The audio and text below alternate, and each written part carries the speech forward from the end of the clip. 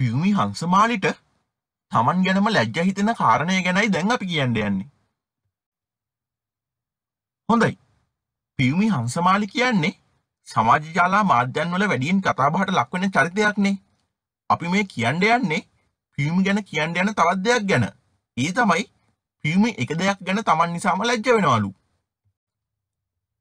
ඒකට හේතුව තමයි පියුමිට උයන්න පිහන්න බැරිකම. දැන් පියුමි හංසමාලි කියන්නේ පුතෙක් ඉන්න අම්ම කෙනෙක්නේ. ඒත් පියුමිට ඉවුම් පිහුම් වැඩ බැරිලු. අමාරුවෙන් හරි ඉව්ව කියමුකෝ ඒත් කන්න බැරිලු. පියුමගේ අම්මා ඉදා ඉඳන්ම මේ ගැන කියලා පියුමිට බනිනවලු. ගෑණියෙක් වුණාම උයන්න පිහන්න පුළුවන් වෙන්න ඕනේ. මන් නැති කාලෙක නොකා නොබී මැරෙන්න තමයි වෙන්නේ කියලා. කොහොම හරි ඉතින් පියුම්ගේ අම්මා මෙහෙම කිව්වත් තාමත් පියුමි හංසමාලිට ඒ ශාස්ත්‍රයේ පිහිටලා නැහැලු. ඒක නිකම්ම පිහිටන්නෙත් නෑ නිතින් උයලා පිහලා පුරුදු වෙන්න ඕනේ. කොහොම හරි ඉතින් පියුමි හංසමාලි මේ නිසා Taman ගැන ගොඩාක් ලැජ්ජ වෙනවලු.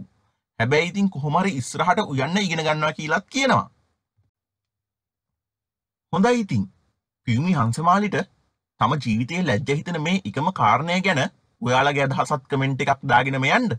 ඒ වගේම මේ වගේ දේවල් දැනගන්න අපේ channel එක subscribe කරන්න අමතක කරන්නත් එපා. ස්තුතියි.